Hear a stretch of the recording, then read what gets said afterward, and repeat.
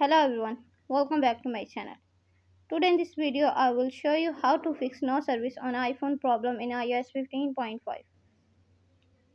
First of all subscribe to my YouTube channel and press the bell icon to get new tech videos. Now let's start the video. Tip number 1. Select LTE.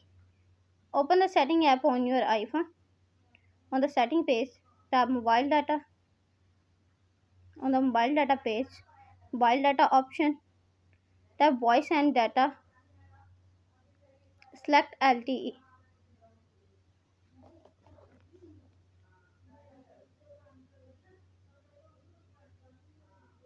Tip number 2 Enable and disable aeroplane mode. Open the setting app on your iPhone. Enable aeroplane mode. Then wait for few seconds and disable it. Tip number 3. Check for software update. Open the setting app on your iPhone. On the setting page, scroll down, tap General. On the General page, tap Software Update. Software update is available. Tap Download and install to upgrade the iOS.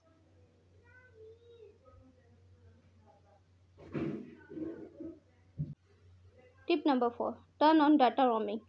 Open the setting app on your iPhone. On the setting page, Tap mobile data. Tap mobile data option. Turn on data roaming.